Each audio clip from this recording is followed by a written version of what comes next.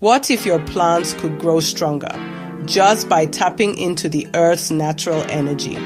No fertilizer, no electricity, just copper and sky. I picked up this strawberry plant on sale for $2 from Home Depot. Healthy roots, good size, it had potential.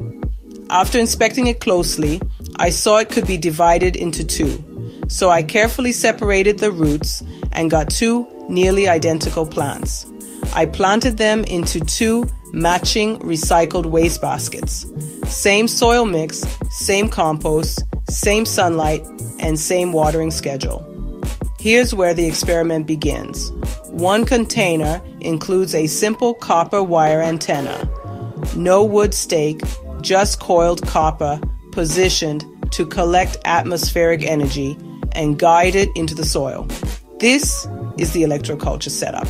The second container has no antenna, just the basics soil, water, and sunlight. No added technology or energy inputs. This is a real time, side by side test, one with electroculture, one without.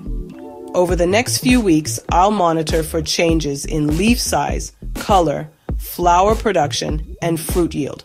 No tricks, no edits, just observation. The question is Will the copper antenna make a noticeable difference? Follow this series to see how it unfolds. And let me know in the comments. Do you believe electroculture really works or is it just garden myth?